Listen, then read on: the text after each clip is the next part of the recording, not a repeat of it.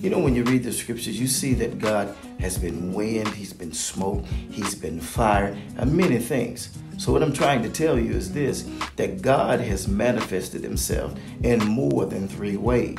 When you read in the book of Exodus, chapter 3, we find that God manifests Himself to Moses through a fire, a bush that was burning and it was not consumed. He told Moses to take off his shoes because the ground he was standing on was holy ground.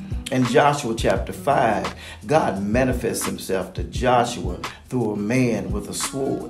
What all of this tells us is that God will manifest himself to us based on our needs. So when you have a need and you call on God, just know he's coming. But be careful how you look for him because he may not come for you like he has come for others. Yes, he's been many things to many people, but he just may be something totally different to you.